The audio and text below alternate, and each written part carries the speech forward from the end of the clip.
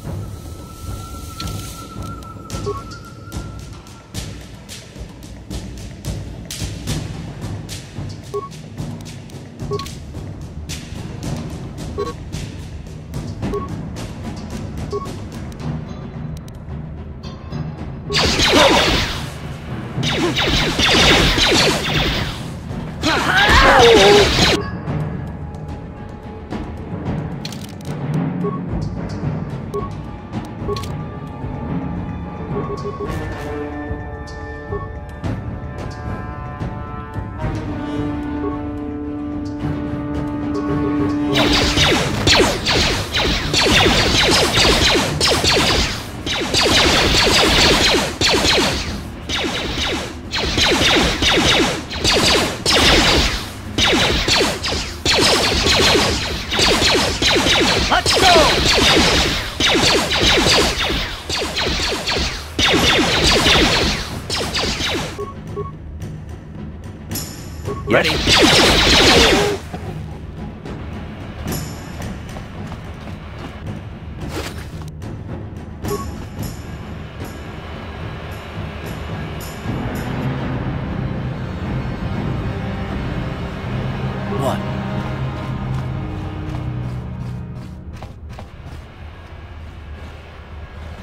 You guys are behind with your payments. What do you, uh, you think just because you're in some gang, you don't have to give Davik his cut? Kavadumpa kunpa yiya mokapata. Bonanay kachu. Yinkin kuno mulirachi kun. Tong na bun siya pa mulchi kamana. Runda dijo tonga kun hunkabi. Wana kun bez ching palamule tungking ba nunotek. Tugning chatukune mulerabes. Ah, so you want to play this the hard way. okay.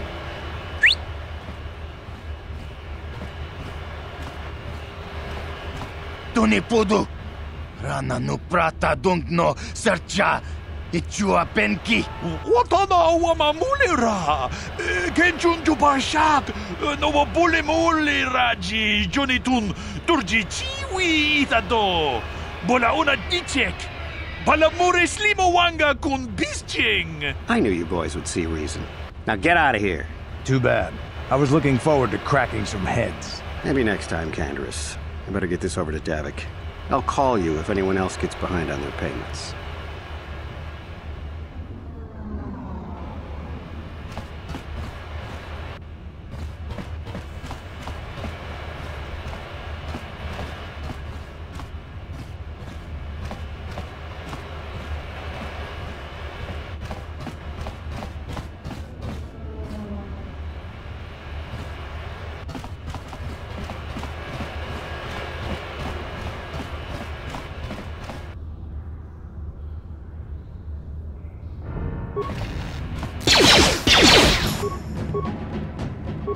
What? Ha! How'd you like that? Down you go!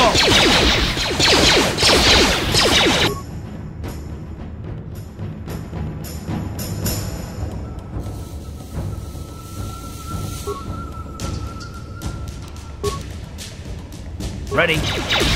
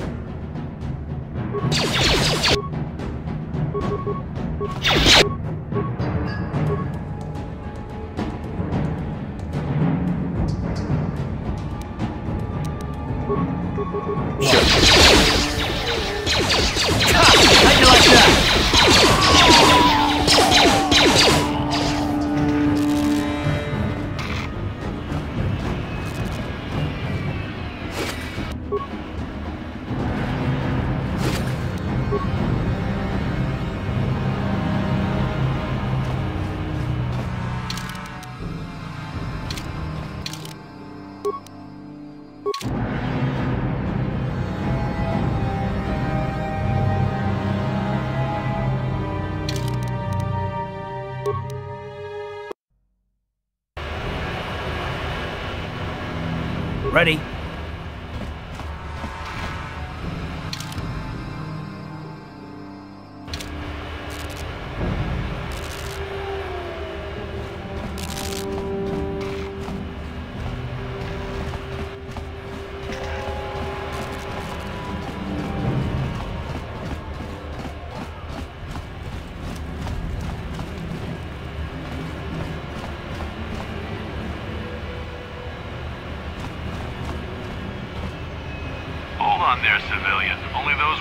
Official Sith business are allowed into the Undercity. Unless you've got the proper security papers, you better just turn around and go back the way you came. Let me see. Uh, yeah, these look to be in order. Okay, you can go down if you want. Can't say I envy you, though. The Undercity is crawling with mutants. Ghouls, they call them. If you see anything moving down there, shoot first and ask questions later. Uh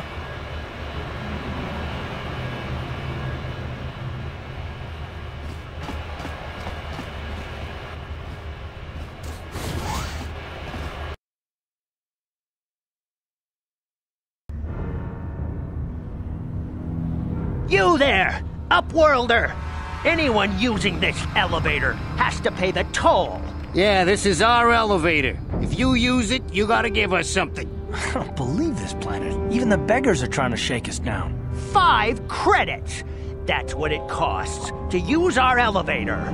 Five credits!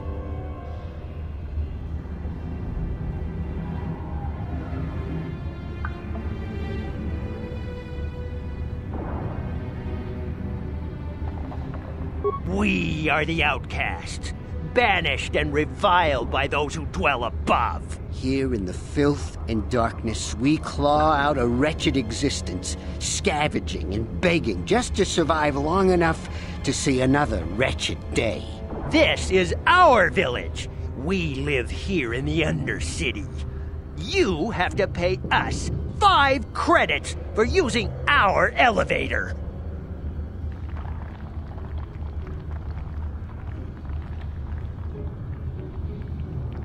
Please have pity on us.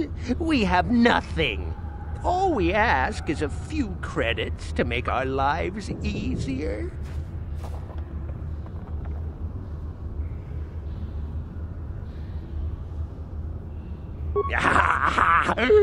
credits, my brother! We have credits.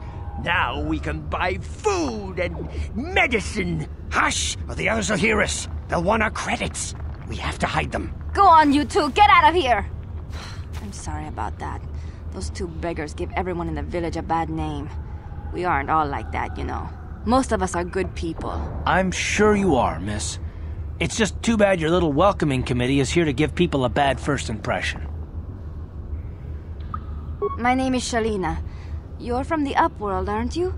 I've I've never seen it. I was born here in the Undercity. Is it as nice as they say up there?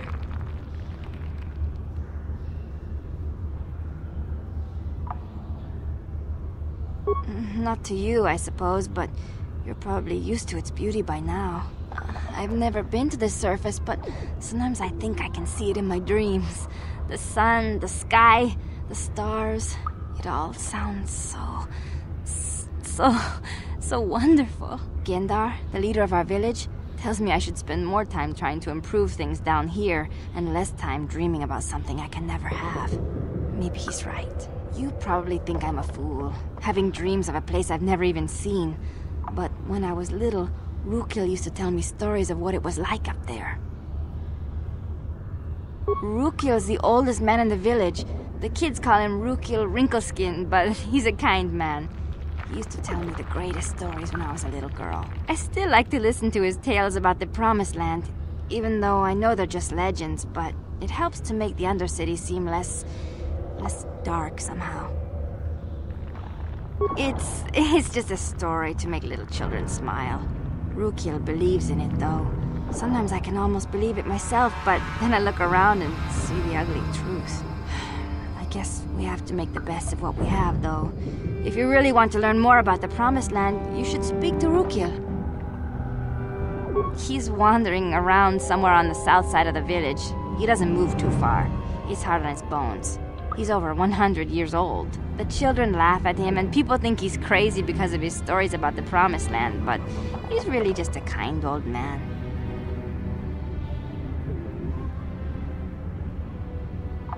You'd probably get more information from Gendar, the village leader, or maybe Rukil, but I'll tell you whatever I can. He'll be somewhere in the village. I couldn't say where for sure. He's always busy doing whatever he can to make the lives of the other villagers easier. He's wandering around somewhere on the south side of the village. He doesn't move too far. He's hard on his bones. He's over 100 years old. The children laugh at him and people... You'd probably get more information from Get... I don't know anything about that, but maybe Gendar could help you. Sorry. Is there anything else you need? There were quite a few people from the surface marching through the village, but none of them bothered to talk to me. Gendar might know more about them. Well, I was born here for starters. My parents were outcasts, banished to the Undercity for some crime or other. They never really like to talk about it. Everyone here is an outcast, or the descendants of one. It's tough down here, but we survive. I guess it's easier for me since I've never known anything different. Some of the people have given up all hope. They've become bitter and depressed, but most of us are good people, despite what our ancestors may have done. Gendar could probably tell you more, or maybe Rukil. You could talk to them if you want.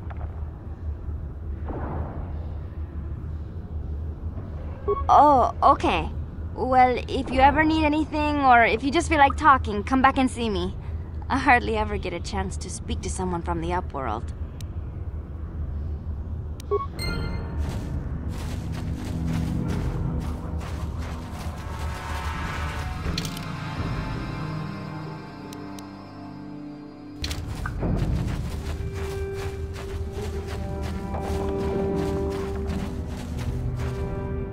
Wait, Upworlder! You can't go through this gate. There is too much danger and suffering beyond. For your own sake, turn back.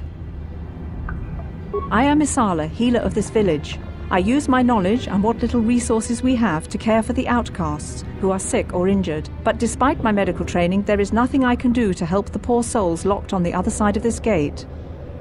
The villagers infected with the Rakghoul disease are quarantined beyond this gate. It's only a matter of time until they transform into horrible creatures that would destroy us all. So you just lock them away in a cage? For the sake of the village, we have to keep the infected ones locked away.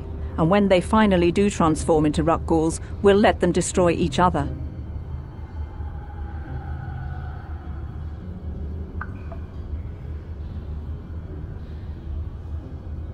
I can't stop you from going through the gates, Upworlder, but if the infected ones have already transformed into Rakghouls, you'll be walking into your grave.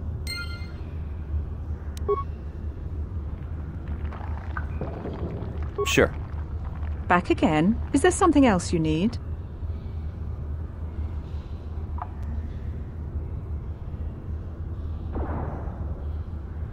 If you have questions, you should speak to Gendar. He's the leader of this village. All my attention has to stay focused on trying to ease the suffering of those within the village. But despite my medical training, there is nothing I can do to help the poor souls locked on the other side of this gate. The villagers infected with the Rakghoul disease. So you just lock. For the. Nothing can be done for the infected villagers. Even the serum to counteract the Rakghoul disease wouldn't be any use now. Nobody would be foolish enough to risk going into the pens to give them the cure. The infected ones could transform into Rakghouls and attack them at any moment.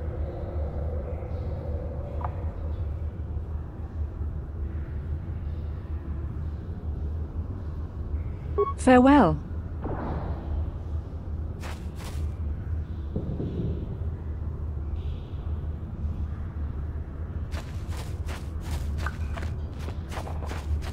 You, you come from the world above. Is this the time of destiny, then? Is this a portent of the salvation of my people?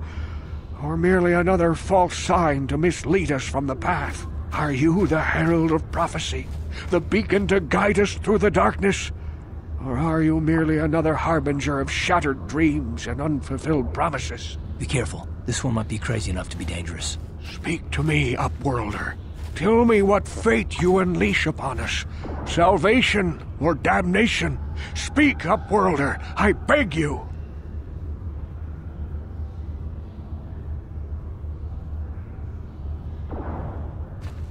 Question. You are uncertain, bewildered, perplexed. Understandable, I suppose. Even after a hundred years of life, I myself still become confused at times. Perhaps I can make things more clear. Some things, at least. My name is Rukil, the oldest outcast here in the village. Rukil Wrinkleskin, the children call me sometimes. Once I was honored for my wisdom, but over time the villagers fell away from the true path. Eventually there was only a single apprentice who followed me. Now she is gone too.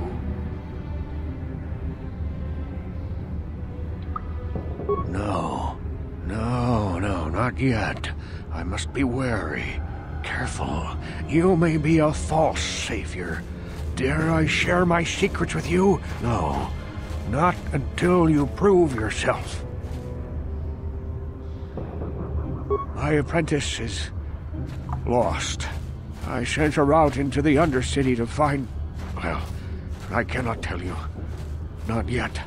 Sadly, my apprentice has not returned. Please, Upworlder, will you help an old man?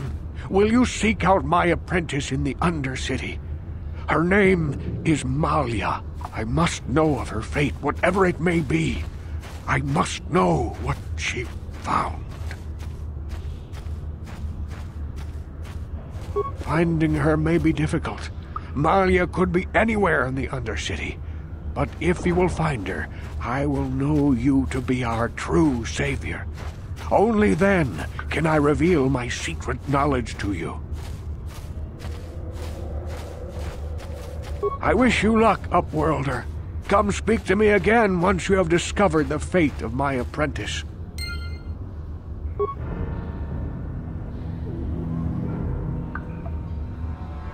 Hello again. I'm glad you came back. It's kinda neat to speak to someone from the surface world. Is there anything I can do for you? Oh, okay. Well, if you ever need anything, or if you just feel like talking, come back and see me. I hardly ever get a chance to speak to someone from the upworld.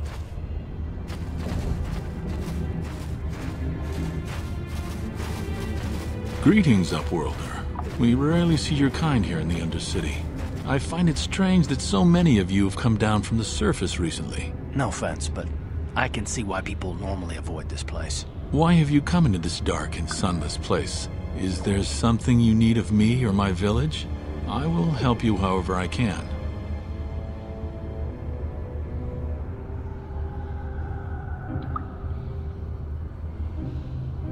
We are the outcasts, shunned from the surface for our crimes and banished here to the Undercity. We banded together to form this village that we might survive in this hostile environment. I am Gendar, leader of this village, as my father was and as was his father before him. Many of us have been here for generations. Our